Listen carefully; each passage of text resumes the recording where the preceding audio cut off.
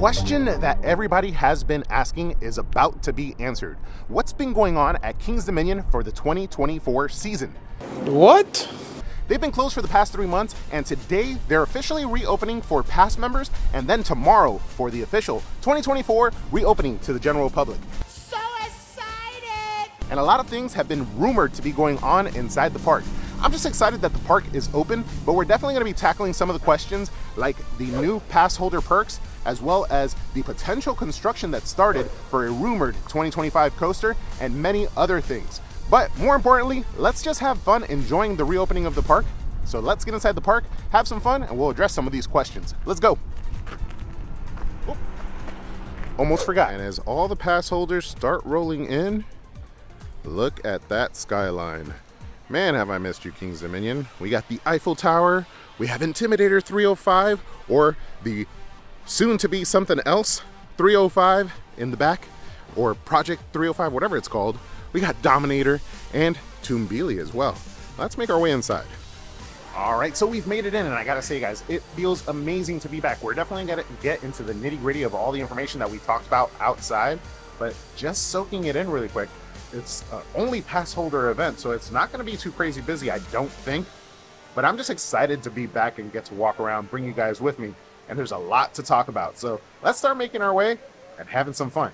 And of course, we first have to stop and soak it in a little bit more with these beautiful fountains. Pay respect to the beautiful water features here at King's Dominion. As we continue our way through, I think we're gonna make a beeline to Jungle X-Pedition, see if it's open, and do a little exploration around there because there should be a lot changing, or at least a lot that we could be talking about that will be changing in the coming future.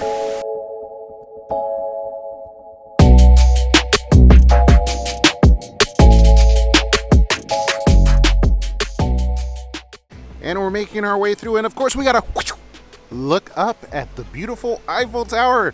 I've missed you so much, young lady. But we are back, and one of the reasons why I want to make our way over to Jungle X-Pedition is this right here. Oops. Check that out. That looks a little bit new. I don't believe that's been on the map before, and it does kind of hint at some new exploration and construction that may be going on at Jungle X-Pedition. So let's start making our way back that way.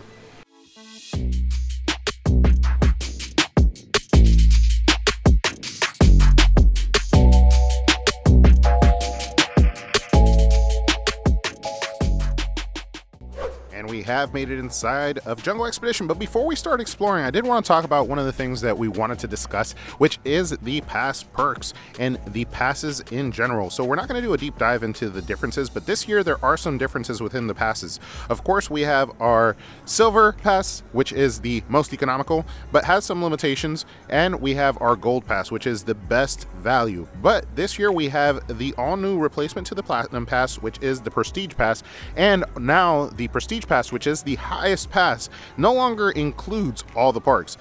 That is an additional add-on that you could purchase for around $100, which is an interesting benefit. Now, you could get yourself a gold pass instead of the highest pass and add that perk of all the parks, which is what we actually decided to do. There, there is the benefit of the all new pass member um, lounge, which we will be going to check out if it's open and they let us in so we could give you guys a sneak pre preview and maybe it would entice us to upgrade. But at the moment, we didn't see the value, so we ended up going with the best value, the Gold Pass. We added the food, the dining, as well as the multi-park pass, which I, I think it's called like the all-park passport or something like that. I forget. We actually bought it on our way over here. But I wanted to just touch on that some quick changes, some quick pass perks, and uh, this part, this pass um, also gets you like a designated entrance and some other cool things. Definitely a cool pass. I just liked it when it was easy, all inclu included, you know, simple. I didn't have to think about it. The the Platinum Pass had everything all included. I didn't have to think about all these different add-ons. And then when you start looking at the add-ons and the face value of this, starts to get fairly expensive. All right, guys, we are inside of Jungle X-Pedition and it feels amazing because the rumors seem to be true. There's some construction walls ahead of us. That 2025 rumored coaster may be starting now. Let's see if we get a glimpse. I'm sure that now Reptilian is probably going to be a super popular ride because you get that aerial view down. We might have to jump on and get a quick view of all the construction vehicles behind the construction walls here. Let me give you a view of what I'm seeing. And here we are, just across from the dining location and the plaza where Let's Get Wild typically is. We got some construction walls up and also a little sign to get you through the excavation dig site, uncovering new discoveries, it says. And it says the same thing over here. The Way Foundation must be hard at work putting up some footers, bringing in some track for a whole new, I don't know, volcano. Let's start making our way back and see if we could capture any up close look. It does seem like a lot has been cleared out. And these fences were put up pretty nicely. I mean, they did have three months to kind of get the ball rolling here. So they had plenty of time. And I'm excited to see what they're doing. Hopefully, they make some type of announcement soon. All right, and here's a quick look back as Tumbili makes its way. Woo, we might get a ride on Tumbili, but we're definitely going to ride Reptilian in just a moment. So we can see if we could capture any view behind this wall and give you guys some insight on what's going on. The wall is very intrusive. It comes out and makes this walking path fairly narrow. Good thing right now it's not busy back here, but I can only imagine this ride, Reptilian, is going to be getting a lot busier during the season with people being interested in what's going on back here. I'm sure with time it will become more visible. These walls can only block so much. And I also want to give a quick shout out to a friend of the channel. I got a bracelet, Ghost. Ghost was your name. Thank you so much. I really appreciate the bracelet. That is such a nice gesture. And not just that, it's customized to Eddie. So thank you so much for that. But let's get a ride on Reptilian and see if I can give you guys some insight on what's going on behind these walls. All right, Reptilian might be one of the most underappreciated rides here because I forget how amazing and unique this ride is. These bobsled coasters are not going to be around for much longer, so make sure that you come and get a ride on Reptilian. And with the construction going on next door, I think Reptilian is definitely going to get some much needed attention from the riders. Maybe not any like touch-ups or anything, but from the riders for sure. Now let's talk about what we were able to see in the form of construction. Now from what you can see from this corner right here, it's kind of everything that's going on. You kind of see through the cracks, but I'm not gonna like push it and go through the cracks. Right now, there is basically just some prep work going on. Let's see. There you can see some of the vehicles, but not much going on in the form of actual physical construction. FYI, this tunnel right here is actually remnants left over from Volcano, the previous blast coaster that is now rumored to be replaced by this construction that's going on back there.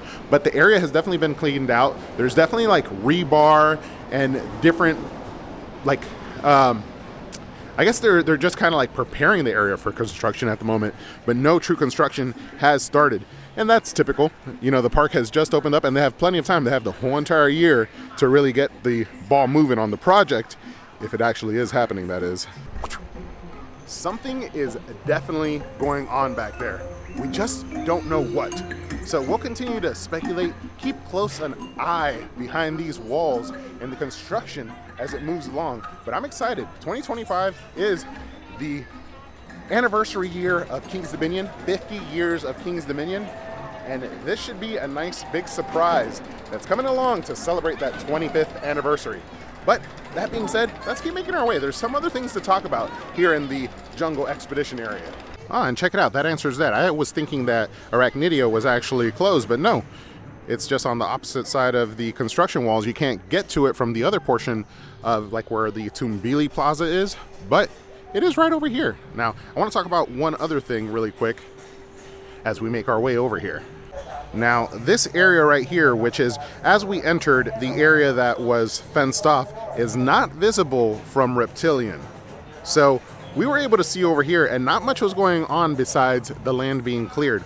But I hear rumors that there may already be footers for a coming coaster behind this wall right here. Unfortunately, we can't see, so that's all speculation. But if it is, that means that they're coming along really quickly, and soon we should be able to see a lot more of what's going on behind this wall. And as we make our way to the very end of this portion of Jungle X-Pedition, it is no longer Jungle X-Pedition, which is one of the reasons why I'm sure you guys have heard by now.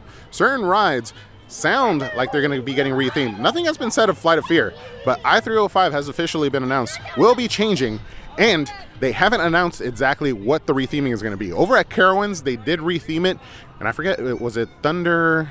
Thunder Striker is what they rethemed it to. And by the way, we were over at Carowinds for the reopening of their park, so make sure to check out that video. But as you can see, boom, the sign for Intimidator 305 is gone. But or I guess I should say, the artist formerly known as Intimidator 305.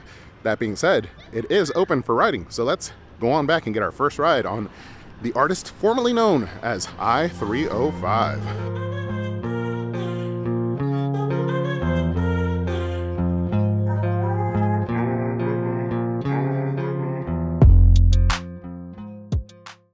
Right, so we are going to jump on. Project 305 is the temporary name, and there is some hints here that I'm starting to notice as far as the sign, kind of playing with our emotions here. You can see that there's this new yellow coloring. The ride doesn't really have that specific yellow coloring, and there's a specific animal that has that type of yellow covering and will or coloring, and we'll zoom in right here. What is this pattern that you see around the sign? Let me know down in the comments. I know what it is. Excuse me. But let me know down in the comments if you notice what I'm talking about.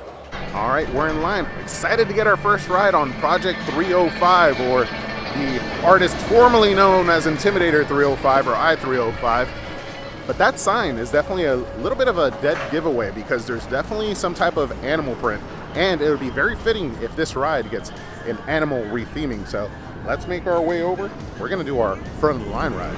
All right, in our first ride on Project 305, the all new coaster, kind of, for 2024. The retheming, if you didn't get what I was talking about, and you haven't left it down in the comments by now, that Project 305 sign has some very distinguishable patterns on it. An animal pattern, which makes a lot, a lot of sense with it being the end of Jungle X-Pedition.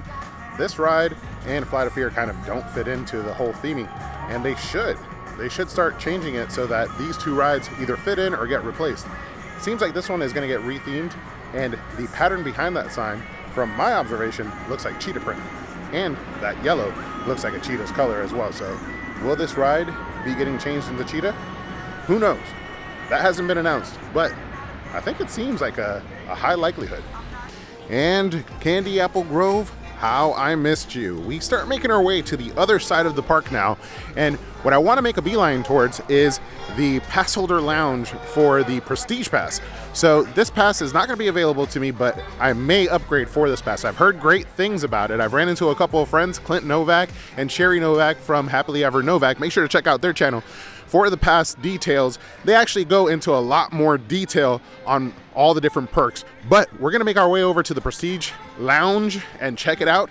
See if maybe it entices us to upgrade our pass to that Prestige Pass.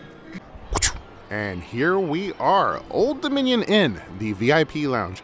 Today, because it is a preview weekend, they are just letting in any old riff riffraff, but tomorrow they will be locking it down. It will be only for the Prestige pass holders. So let's get a little preview and see what it has to offer. All right, and we step on in, and it looks like they have remodeled the place nicely. You're good. Check it out. Oh, look, another Eiffel Tower. I do like the white and black aesthetic, and it does look like the second floor is blocked off. I wonder if that's a permanent thing. For now, it looks like it's just the first floor, and I do like that it is an interior lounge check out these couches. Oh man, and as I'm checking it out further, you got the beautiful couches, the nice coffee tables, and you got plenty of TVs. So far, I've already seen like four TVs in here. A nice sign that says relax, and oh, I'm sure you can relax in here. And you also have the control, so you have control over what's going on the TV if you need to relax and check it out. A beautiful view of the park. You can see the park ongoers, and I think one of the cool things is not only is it this interior space, there's also an exterior space. So let's go check that out as well. And here we are. It's the patio area, and they got TVs, fireplaces, and whatnot out here. So you'll be able to enjoy this during the wintertime. And during hot, it does get a little bit cold with this water feature out here. I do like that water feature. They have like little turtles and animals in there. Let's get a closer look at some of these tables and the fireplaces. All right, and check us out. We're on like little rocking chairs. This is nice. The rocking chairs are with the fireplaces, and then you got the TVs, the covered area. Man, I gotta say, this is a little enticing. I'm thinking maybe, maybe we, we got a budget that we're working on so that we could bring you guys the most amount of content. But if you guys are watching a little bit more, maybe my budget will go up and I'll be able to afford upgrading to that prestige pass. Who knows? But it is tempting. I gotta say, it's really nice in here. And I almost forgot, just behind me, we have another update that one of our viewers actually pointed out to me Victoria's. One of our favorite establishments to grab some pizza and have nice accommodating area to sit has been completely rethemed. Let's make our way inside and check out what the new Victoria's looks like for 2024. And whoa, whoa, wee, whoa, look at the new sign for Victoria's Pizza. I gotta say, I am feeling it and seeing what I can see from the outside. Wow, this place looks spectacular. Check it out. We've got the big reveal let's go ahead and grab ourselves some food and then we'll talk about the changes for the events. But I gotta say, I love what they've done with Victoria's. And here we have the updated menu. A lot of what we remember with the pizza and the two breadsticks, but also now we have an antipasta. I'm not sure if that was here last year, and a piadini. Not too sure what that is, but check it out. We have all the options laid out for us. I think we're gonna grab some pizza. All right, so we just got done eating at Victoria's Pizza, and I gotta say, I love this sign right here. The sign that they've added for Victoria's Pizza now with the new remodel. The inside looks amazing, the outside looks nice and refreshed, and they also have some new food items. We were gonna do the pizza, but we ended up actually doing the piadoni, I think it's what it's called. It's kind of like a stromboli. It's like sausage, a marinara sauce, and cheese inside of like a wrap.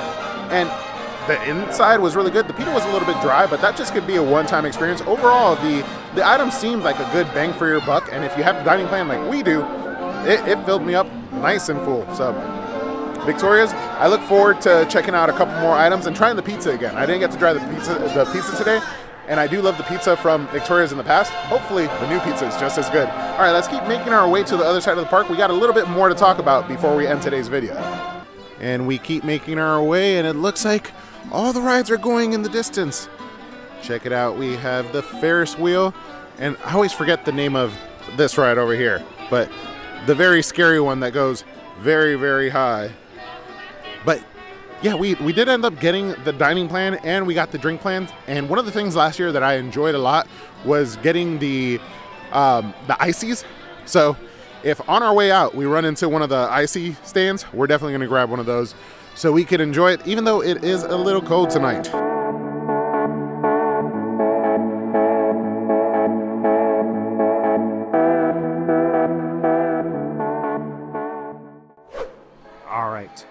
On that note, we head back to the VIP lounge. It's a little bit cold outside, so we're going to warm up and we're going to talk about the events coming this year. There's some new events, some changes to prior events. One that we kind of hinted to is for our beloved haunt. But let's actually pull up the website real quick.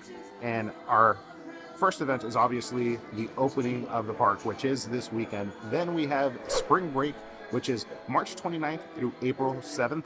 Then we have Soak City's opening on May 25, which I'm super excited for because last year Ollie had an amazing time enjoying I or I was about to say I-35, enjoying Soak City and uh, the the kids area. This year he could walk, so he's going to enjoy it even more. Um, then we have the July 4th celebration, which is obviously the weekend of July 4th and through the 6th. Grand Carnival, which was rumored not to be coming, will be coming from July 13th through the 28th, so summertime.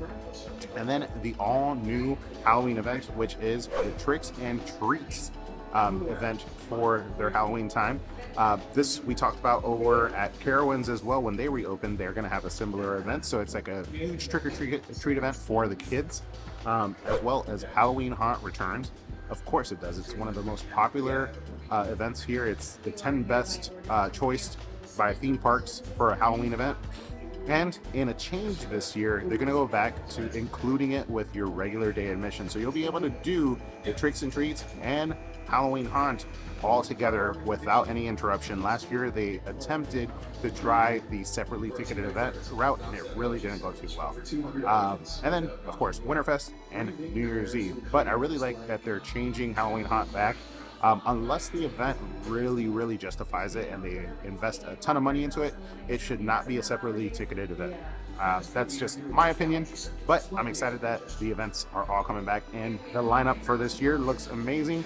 We're glad that Grand Carnival is returning as well. But on, on that note, guys, if you guys enjoyed this video, make sure to smash that like button. If you enjoy Haunt, check out this video right here.